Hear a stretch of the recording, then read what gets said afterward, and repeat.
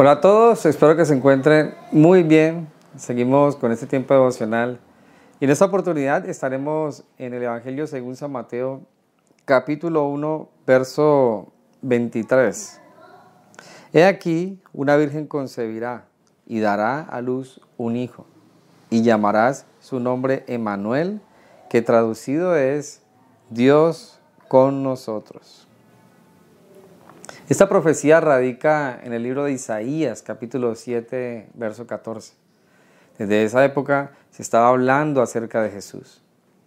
Y vemos aquí que junto a la profecía que hay en Isaías, en Jesús tenemos una unidad y está el cumplimiento.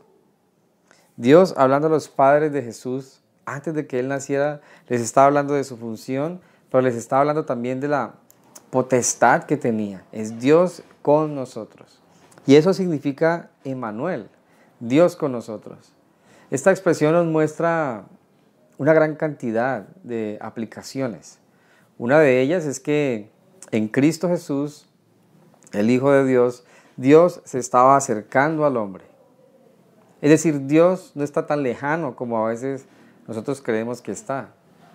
En realidad está más cerca de lo que creemos. Y Jesús es aquella persona por la cual Dios se ha acercado al hombre.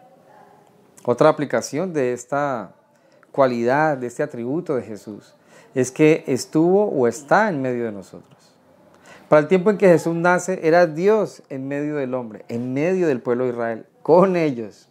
Dios hecho hombre. Y para nosotros hoy día, por la hora del Espíritu Santo, por la hora de la cruz, por la resurrección de Jesús, él está a la diestra del Padre, pero está con nosotros. Jesús es Emanuel.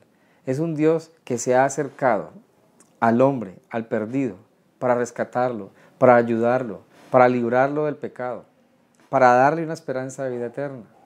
Dios por medio de Jesús nos ha demostrado que no está lejos y que está interesado en su creación. Está interesado en ti, como tú eres, y quiere que por medio de Cristo Jesús tengas una relación con Él. Qué hermoso tener esta expresión aquí y esta profecía aquí que ya está cumplida. Jesús ya vino, se hizo como uno de nosotros, eh, llevó a cabo su acto redentor, resucitó, está a la diestra del Padre y ahora nos permite tener una relación con Dios. Jesús es Dios con nosotros. Él es el Emanuel del cual se profetizó en Isaías capítulo 7, verso 14. Así que si quieres tener una relación con Dios, si quieres tener cercanía con Dios, acude a Cristo Jesús, porque Él es ese Emanuel. Si quieres que tus hijos, tus familiares, tus amigos tengan una relación con Dios, llévalos a Emanuel, a Jesucristo, porque Él es Dios con nosotros y nos va a ayudar en nuestro caminar. Que Dios te bendiga y nos vemos en otra oportunidad.